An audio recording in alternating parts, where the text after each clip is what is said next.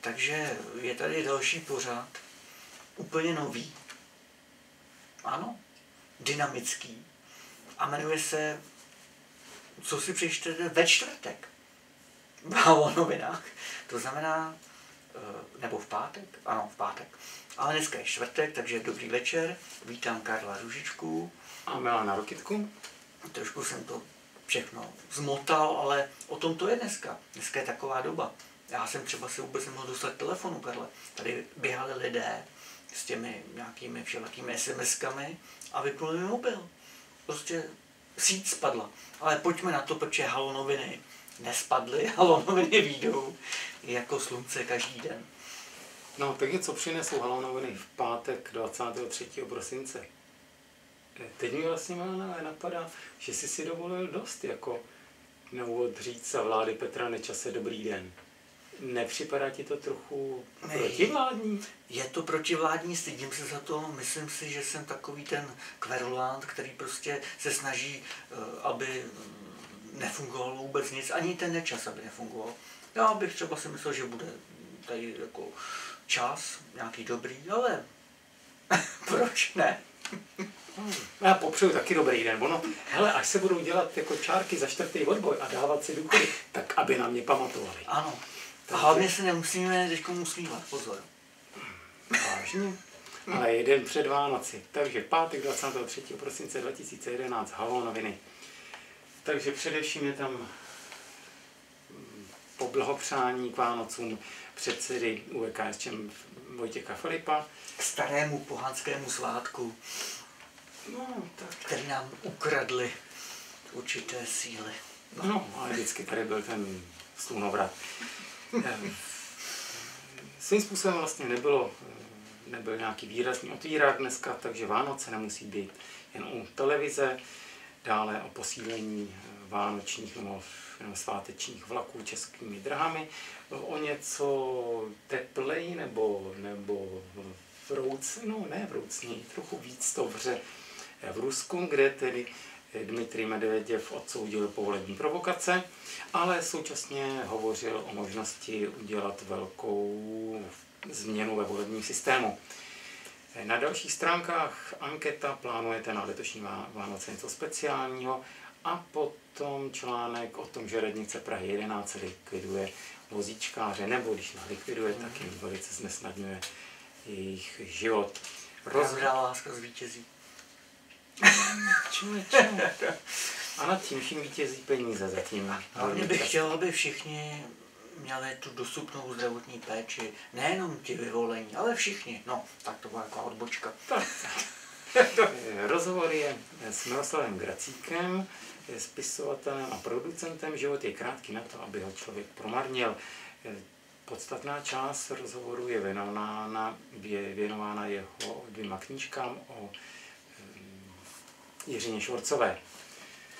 Na další... Tak to život nepodmanil. Nakonec na Barandov TV naši přátelé zjistili, že je to vlastně žena roku. Dostala cenu, i když bohužel tedy posmrtně, nedočkala se toho, ale naštěstí pozvali ještě na ten slavnostní večer a tam před tou smrtí byla ráda, že na Brandově ji ocenili diváci, ne nějaký, mm, řekněme, experti, ale prostě diváci, prostě lidi. Hm? Což bylo hezký. To jo. Myslím, že naše čtenáře zase potěší eh, od Moniky Oření eh, sice letmé, krátké, eh, krátký článek o vystoupení filozofa Slavoje Žižeka. Podle Žižeka leží před námi zajímavá doba. To v každém případě. To v každém případě na stránce ekonomiky zelené zlato je vysoce kvalitní, díky nižší sklizni se snad prodá, čili zelené zlato, je to jasné, je to chmel. Je tam problém s tím, že bohužel někteří lidé jak si přisypávají ten chmel cizí do toho českého a protože už nemáme ty takové podniky, které to kontrolují, které to prodávají, tak se to prodává v jednom balíku a uvidíme. No, uvidíme. Takže na stránce zahraniční, kromě tedy zpravodajství z, z Ruské federace, krvavé útoky z Bagdádu, Kazachstán pozval experty OSN na vyšetření nepokojů a střetů, které tam byly v minulých, minulých dnech. Rada Hlavně, aby tam nepřijeli ti, kteří to organizují. Dále Rada Evropě, nevěřte Mezinárodnímu měnovému fondu, není to zrovna eh, z Kuby, nebo tak, ale je to kousek od Kuby, to z Argentiny, od někdejšího ministra financí v Argentině. Co doma po návratu z Iráku, vánoční toulky napsala Mirka Moučková, řekli ve stopách Jakuba Jana Ryby. A na stránce sportu samozřejmě vyhlášení sportovce, respektive sportovkyně roku. Tím si naznačil, že to bude hodně o tom pingpongu, ne, o tenisu. ale to už lákáme diváky a to bychom neměli, že jo? My jsme seriózní médium, ale snažíme se samozřejmě, abyste přepnuli na livestream, ten bohužel teď ještě není úplně kompletní, ale bude, protože je tam problém s dodavatelem. Stávají se takové věci. Například dneska, kdo z nás uh, byl na Praze 1, tak zjistil, že třeba mu nefungují mobily. Včera, dnes, možná i zítra. No. Kdo ví, co se to tam v té Praze děje? Eh, jako je pravda, že část národa truchlí za eh, prezidentem Václavem, za někdejším prezidentem Václavem Havlem. Eh, pro někoho toho truchlení už je trochu hodně člověče Milane. Už dokonce včera tedy jako bylo. Tak samozřejmě umřel člověk, jsme lidi, každý člověk, který umřel, tak si zaslouží prostě určitou pětu, ale proč z toho dělat kult osobnosti, proč zastírat nějaké problémy, hm, které tady jsou ve společnosti. Možná je to i o tom, že prostě někdo si myslí, že asi bude dobré, když bude vysílat místo pohádek kolem dokola, kolem dokola, stále a stále nějaké ty... Víš, co mi na tom udivuje? Že před tím listopadem se znamená nějakých 15 nebo 20 men, ale žád, z disentu, ale žádný z nich e, nějak nevystupoval. Ani ten Václav Havel prostě nebyl nějakou extra e, jedničkou, to není pravda. Jako Šabata, Batěk, Motejl, Palouš, Dinsbír, Hájek, e, Hejdánek, e, Kubiška s, s Krylem, i když teda, ten, i když teda Kryl nebyl disentu, že mlinář, než, ho, než, než byl vypoklonkován z republiky, eh, Petr U. Benda. Prostě byla tady řada jmén mm-hmm. A dokonce Václav Havel snad eh, sice dělal několikrát mluvčího, nebo jednou nebo dvakrát dělal mluvčího Charity, ale ne toho prvního. Mezi těmi prvními mluvčími jako tou, tou jedničkou, tak to byl třeba na začátku Hájek, pak to byl Dinsby. Nebo profesor Patočka. Eh, Patočka, myslím, že nebyl mluvčím Chartyžánu, ten, ten, ten vlastně zemřel. A hodně ho Václav Havel vykrádal. to si budeme povídat. Že jo, ne, ne, nebo, Aleksandr Vonda prostě, ať už si člověk, nebo Šiklovou, Pitharta, mm. Miroslava Kusího, Jana Černogorského, prostě těch jmen tady byla řada. A Ladislav Lis. Mm. A najednou, jako jestli bychom měli každému z nich eh, dělat takovýto pořad, tak mi to připadá jako poněkud přehnaný. Jo. Mm. Myslím, že Havel má zásluhy na to, jak to proběhlo před, těsně před listopadem a, a několik měsíců po listopadu, že třeba nebyla zakázaná KSČ, to je, myslím, jako to, že on se tehdy k tomu postavil zdrženlivě, ale to, co potom předvedl, když si vzpomenu na jeho tvrzení, nebo na to heslo, žádná raketa není, není mírová, nebo aby se zrušily oba eh, vojenské bloky, jak Varšavská smlouva, tak, tak na to, tak tyto věci, které tehdy rezonovaly i prostě v tom, mezi těmi občany za toho, za předlistopadového režimu, tak to opustil. No tak on to pak vysvětlil po letech. A on tak... řekl jednu zásadní věc, která myslím si nezazněla v tom všem dneska. On řekl, víte, oni lidé chtějí prostě slyšet v té revoluci, v té situaci to, co chtějí slyšet tak jsem jim to říkal. No tak asi takhle to bral. To potom za, podobná slova eh, spadly eh, ještě v 70. letech Gustava Husáka, když jako řekl, když mu taky vytýkali, že jen byl v 68. a jinak teda na konci 69. na 80. roce mu řekl, no to máte jako deštník, jako no, roztánete, když prší a pak zase, když přestane protože stáhnete. Ano, říkal, s Dubčekem sem přijdou, s Dubčekem mají odejdem. ano, no tak taková je politika, Karl. Musíme si na to zvykat. No, to by se dalo říct u někoho, kdo není takovým, kdo tak nehovoří o té morálce, o, o filozofii, kdo no, dokonce bych řekl, že to je takový, že, že Václav Havel, Havel byl někdy takový moralistní exhibicionista. Aha. Takže ten si to dovolit nemůže, protože buď teda držím tuto lajnu a potom musím každému měřit teda stejným metrem, Aha. anebo teda nejsem tak morální, jak ze sebe dělám, jak píšu, jak, jak mezi lidi cpu a tak jako něco mi tady z toho nehraje. Jako ty, když posuzuje jeho, jeho výroky a jeho činy, anebo výroky z různého období, tak jsou tam různé takové velké zlomy, které se těžko vysvětlují, když na ně ohledím jako na humanistu nebo morálního člověka, ale jsou konzistentní v okamžiku, kdy ho začnu považovat za, za pokrytce. No, tak Karle, ty jsi ještě nepochopil postmoderní filozofii. No, o tom budeme povídat někdy, to, někdy příště. Chápu, že to je trochu absurdní kus a že Václav Havel byl přeci jenom to dramatik absurdního divadla, ale jako tady to se mi na něm nelíbilo. Jako... Dobře, o mrtvých je dobře, to není žádný šourání do památky zesnulého. Ne, to, ne, to je to, ne. jenom mm, diskuze o tom odkazu. O co jde? Jde o to, že prostě, když se stane filozof nebo dizident nebo kdokoliv, prostě politikem, tak skládá sliby lidem, že jo?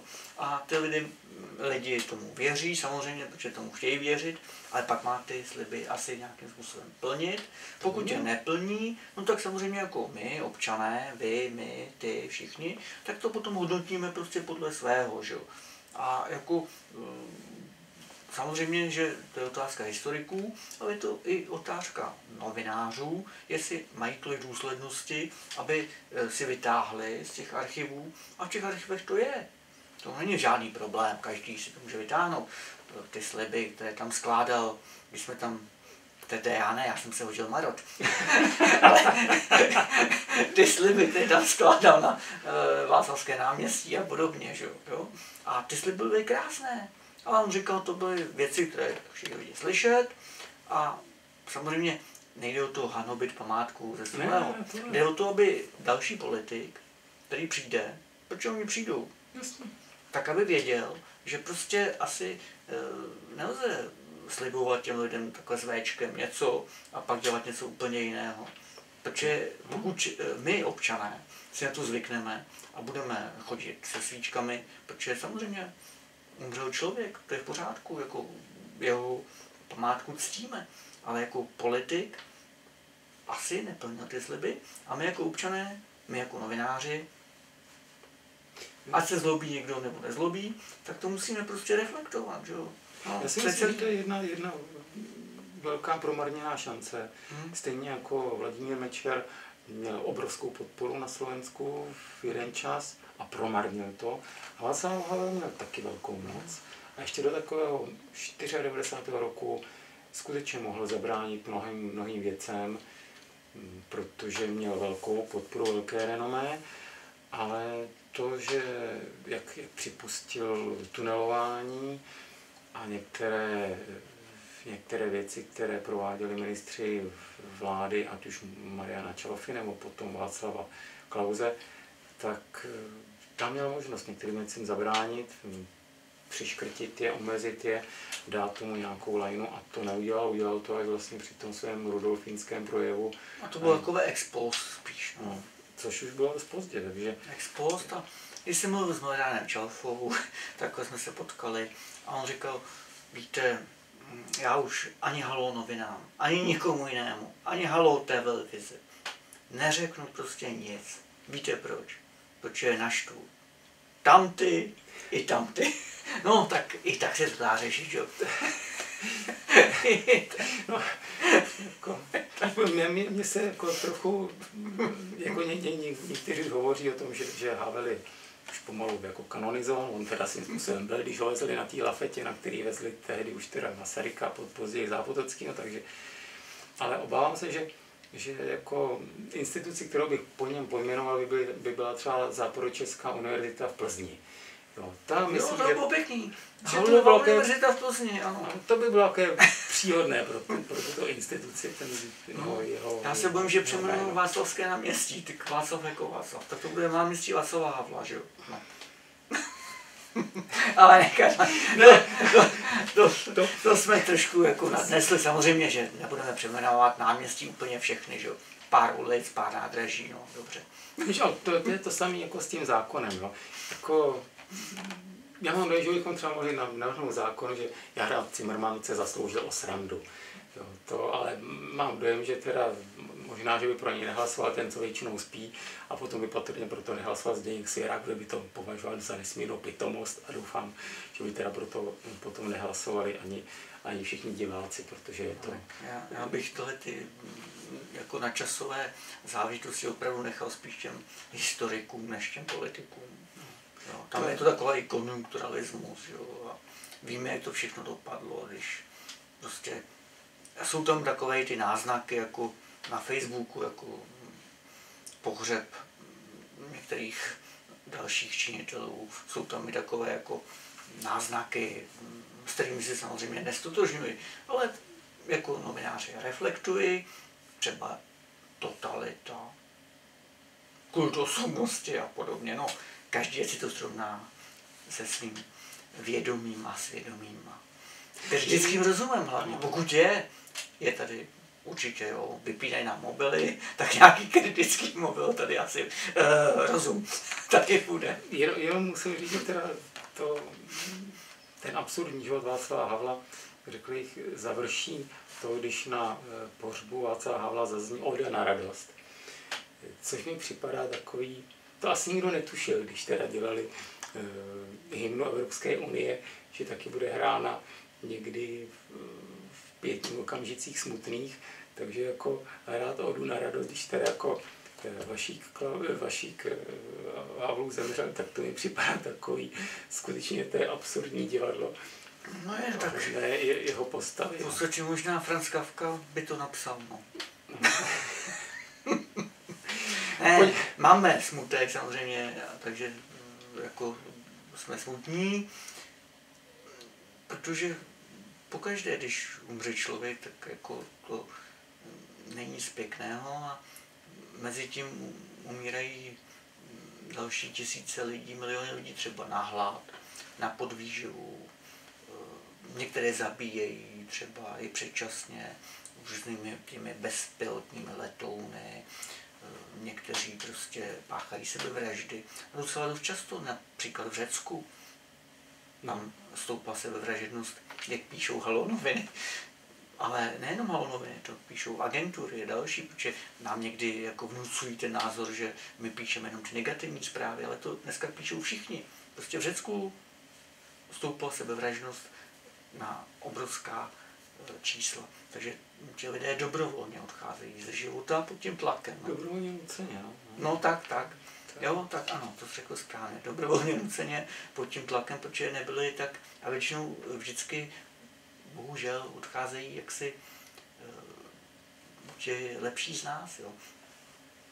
Pod tím tím tlakem, no nebo ti křehčejší z nás, ti citlivější z nás. Tak. Ale jako já si, já si myslím, že je povinností té lidské komunity těmto lidem, pokud může, tak hodit lano, aby ne aby se oběsili, ale aby to byla nějaká kotva, nějaká, se vytáhne z toho maléru. No. A to bohužel si, se nám ne vždycky daří. No. No, pojďme k těm novinám. Takže České dráhy před svátky posilují vlaky. Nejprve to posílili o 10 tisíc míst, potom ještě přijeli další 2 tisíce a především posílí vlaky z Prahy do Pardubic, Olomouce, eh, na Ostravsko a na Valašsko. Na té titulní stránce Medveděv odsoudil povolební provokace, eh, takže eh, nedovolí extremistům a provokatérům narušit stabilitu země po parlamentních volbách a nepřipustí měšování do záležitostí Ruska, ale na druhé straně vyzval k zásadní reformě ruského politického systému. Mimo jiné vyzval k tomu, aby gubernátoři nebyli jmenováni Kremlem, ale aby byli voleni normálně eh, jako eh, občany. Takže demokratizace Ruska probíhá dále. Je otázka samozřejmě, kdo to tam uchopí. No, to se uvidí. Medvěděv eh, tež v rámci této reformy se domnívá, že by se měl, no, měla zjednodušit registrace politických stran a měly by se snížit ty kvóty na zápis kandidátů na kandidátní listiny. Eh, také navrhl vytvořit veřejnoprávní televizi, která by byla nezávislá na státu. To bychom taky potřebovali, Karle. A eh, žádá to, aby představitelé no, vysocí zveřejňovali své výdaje. Takže zdá se, že tam mají podobné problémy jako u nás. Tak je to podobné asi v celém světě, no. Takže asi to až tak zase tady asi taková demokracie nebude, když se teda hovoří, že v tom Rusku demokracie není a tak podobně, když tady máme víceméně stejné problémy jako tam. No možná i horší třeba. Zase to, to někdo měří kilometrama, někdo měří co to na vrstvy a tak podobně. Eh, radnice Prahy 11 likviduje vozíčkáře, titulek zprávy o tom, že městská část Prahy 11, nebo respektive zastupitelstvo, odmítlo poskytnout občanskému združení klub vozíčkářů Petýrkova 400 eh, tisíc korun a místo tohoto hm, přesměřovala tyto finance nebo odklonila na akciovou společnost jeho městská sociální, kterou provozuje městská část. Malá domů. Rozumíme tomu. No právě něco na tom asi bude, protože kritici tohoto rozhodnutí tvrdí, že my nemůžeme pochopit, proč to nemůžou dát přímo nám. Vidíme v tom určitý zájem. Jo, městská sociální je v hierarchii s klubem vozíčkářů na stejné úrovni. Čili proč to, dát, proč to nedat rovnou Rokitkovi, když to můžu dát tam a pak tomu a teprve potom možná něco ještě Rokitkovi. Tak, no, je to lepší, když to probíhá více kapsami, ono v všech kapsách něco zůstane. Ano, tomu rozumíme, v tom jsme opravdu na špičce. A proč eh, to vozíčkáři vlastně žádají? Protože žádali po státu 1,3 desetiny milionu a po Praze 1,15 eh, desetiny milionů korun. Od státu dostali 800 tisíc, od hlavního města 40 tisíc, takže chtěli teda něco vykrýt od své městské části. Bohužel nic. Je to klasické kmotrovské vyvádění peněz, podotkl opoziční zastupitel Jiří Štýler za hnutí pro Prahu 11. Tak je to taková kapka v moři, ale ukazuje ten oceán, v kterém plaveme. Tak, tak, tak, tak, tak. Eh, ukazuje, jsou tady Halo noviny, tady Karel Ružička a Milá Rokitka. A, a Rokitka, který vám to prostě přináší a každý ať si sám přebere. My nejsme arbitři, my jenom nosíme ty informace a každý. Ale nejsme v tom Milane sami, je tam víc těch kapek, takže například Městský soud v Praze zrušil rozhodnutí o zastavení stíhání Martina Knetika, bývalého poradce ex-ministra životního prostředí Pavla Drobila. To byly takové, ty, kolik tam šlo, asi 5, 400 nebo 500 milionů, tam se mělo na životním prostředí no, nějak. Tak, začátek toho všeho. Tak, tak, tak. Ale nakonec eh, těch případů je více. A tady máme takový zajímavý systém soudní, že pokud eh, ten okresní obvodní soud, ten první instanční, něco rozhodne, odvolá se k tomu vyššímu někdo z těch stran, tak se to vrátí zase k tomu prvnímu, on rozhodne, pak se to vrátí zase k tomu vyššímu. O, máme tam taky případ, myslím, včera to bylo o, o komerční bance a podobně, tam už se to vrátilo xkrát a jak si, ne, že by to bylo perpetuum mobile, ale je to o tom, že ty soudci samozřejmě jsou eh, jaksi jmenovaní mocí výkonou, jsou hmm. povyšováni mocí výkonou, eh, rozumějme tomu tedy politickými vládnoucími kruhy. No a tím pádem asi ta nezávislost, která je napsaná v ústavě, na tom papírku, který máme všichni jaksi eh, v kapse, aby jsme se poučili, co můžeme, co nemůžeme, tak eh, ta dělba moci prostě v té ústavě je napsaná hezky, velice krásně, s odkazem na, řekl bych, osvícence, dělba moci výkonné, zákonodárné a soudní. A nakonec zjišťujeme, že ono, jak si ta moc zůstává v několika málo rukách a právě proto i ty soudní případy se trošku vlečkou. A ty to máš na papírku takový, já totiž mám na počítači takovou roličku, víš, tu jsem dostal před, před parlamentem a tam je napsáno Ústava České republiky. A je to taková rolička s takovou dírkou uprostřed. Jako... Někdy to připomíná i, ano, ten pověstný toaletní papír, no ale... ale zatím jsem ještě nenačal já teda, jako to, tam mám jako tak, takové varování. Plánujete na letošní Vánoce něco speciálního? Ptala se redakce Halonovin, poslanců, ale i dalších osobností, ehm, ať už, já nevím, Ivany Levé, nebo Vladimíra Koníčka, ehm, Franty Beneše, Ilony Švihlíkové, a Marty Bajerové a dalších a dalších, Jirky Dolejše. Život je krátký na to, aby ho člověk promarnil, tvrdí Miroslav Gracík. V září se s kolegou Václavem Nekvapilem získali cenu Egon Eyre na Kiše, udělanou klubem autorů literatury Faktu, za autobiografii Jiřina Švorcová osobně. Nyní jste přišli s další knihou, na jejíž obálce je opět eh, herečina tvář. Co tato kniha ukrývá? Jde o knihu Jiřina Švorcová Poslední role života. Takže o tom se zde hovoří a mimo jiné Miroslav Gracník vzpomíná. S paní Švorcovou jsem se seznámil asi před deseti lety když jsem s ní dělal rozhovor pro Deník Blesk, ve kterém jsem ten, tenkrát působil, byla střícná, otevřená a při autorizaci nic nevypustila, což mě milé překvapilo. Mimo jiné, I to o něčem svědčí. Ano. Dál třeba vzpomíná, sranda je, že ona vůbec nevěřila, že by ta knížka mohla být a že by někoho zajímala. Uvěřila, až když jsem jí po vydání přezl domů autorské výtisky. Takže je to skutečně, připomíná tady, že Mé vzpomínky na paní Švarcovou jsou hezké, politiku jsme moc nerozebírali a nikdy mě nepřesvědčovala ani mi nevnucovala můj, svůj pohled na svět. Takže to je to, to říká autor, který už napsal knížky o Marice Gombitové, Petru Novákovi a dalších uh, osobnostech. Legendy. Tak o tom možná si popovídáme někdy příště, protože paní Čorcová byla v rádiu Halo a byl to zážitek asi pro všechny, nejenom pro mě, ale mm, jako setkat se s osobností